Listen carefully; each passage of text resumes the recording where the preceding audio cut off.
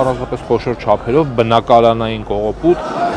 Այս անգամ Հայաստան դաշինքի անդամ Նարեկ Մանթաշյանը մեղադրվում է Հայաստանի դրոշը կողոպտելու համար։ Դեպքը 2020-ի նոյեմբերի 10-ին է պատահել կառավարության շենքում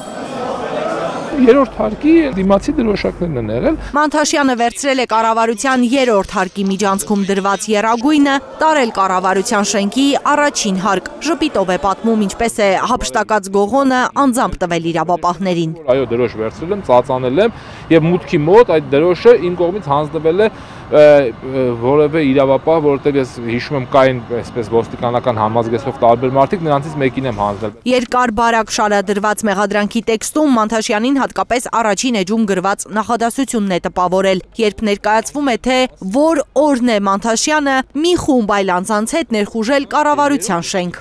Այստեղ բառը հենց ինքնին ասում է. Հողերը հանձնելու,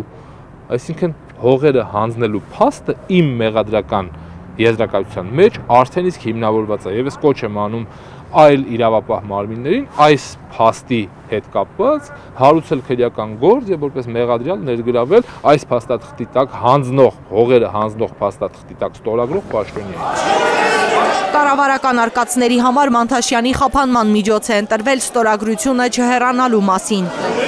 Նոյեմբերի 10-ին կառավարությունում չի եղել, բայց կառավարության շենքի մոտ խորհրդարանի նախկին նախագահ Արարատ Միրզոյանի մահապորցի համար որպես կասկածյալ հարցակննվել է Հայաստան խմբակցության падգամավոր Թադևոս Ավետիսյանի օգնական Գերասիմ Վարդանյանը, բայց հիմա է հանցագործի անուն ձեռք բերել, ասում է Փաշինյանի աներձակ падգամավոր Հրաչյա Հակոբյանի թեթև ձեռքով հրաչը դրա հետ կապված էլ հիմար հիմար առանց հասկանալ հայտարարություններ անում որպես ես մեղադրյալ եմ այդ գործով անցնում բայց դա սուտ է։ Ես այդ գործով որպես կասկածյալ եմ անցել, ես դրա հետ կապված համապատասխան ձայնագրություններ ենք ներկայացրել, թե ես որտեղ եմ եղել, ինչ ինչ անելուց եմ եղել։ Դեկտեմբերի 7-ին խորհրդարանում ծեծկրտուքից հետո մամուլը սկսեց պարզել, արդյոք հանցագործը է պատգամավորի օգնական Գերասիմ Վարդանյանը։ Պարզաբանում է, եթե նկատի ունեն 2020-ի նոյեմբերի 10-ը, ինքն այդ օրը եղել է Հոհիդա Գերագույն մարմնի շենքում, ինչ վերաբերում է խորհրդարանի ծեծկրտուքին, չի հերքում ու չի զղջում։ Ինչ կար ասելու, ասել ենք, ինչ կար անելու, անել ենք,